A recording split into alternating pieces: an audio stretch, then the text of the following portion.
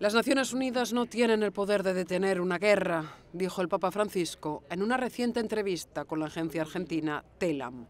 Durante una charla de una hora y media en el Vaticano, el Papa habló de la reconstrucción de la sociedad tras la pandemia, del medio ambiente y de la necesidad de prevenir los conflictos bélicos.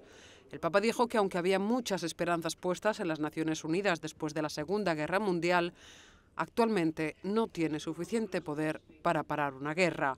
Al mismo tiempo reconoció que sus propios estatutos lo limitan. El Papa también dijo que la Iglesia debe repensar su concepto de guerra justa e incluir más espacio para el diálogo y el entendimiento mutuo. Cuando se le preguntó si seguiría siendo Papa durante mucho más tiempo, Francisco respondió que lo diga el de arriba.